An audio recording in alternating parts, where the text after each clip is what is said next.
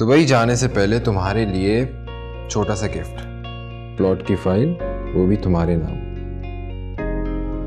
इतना कीमती प्लाजा बेचा है तुमने।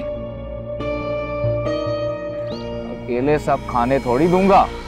फारिस से पूछूँगी तो ज़रूर। किसने मेरे साथ ऐसा क्यों किया? तुम इतने दिनों से कह रहे तुम चेक पे साइन क्यों नहीं कर रही हो? फारिस के पास मेरे पैसे हैं। अब तो उसने प्लाजा भी बेच दिया है। बड़े पैसे हैं इसके पास। क्या?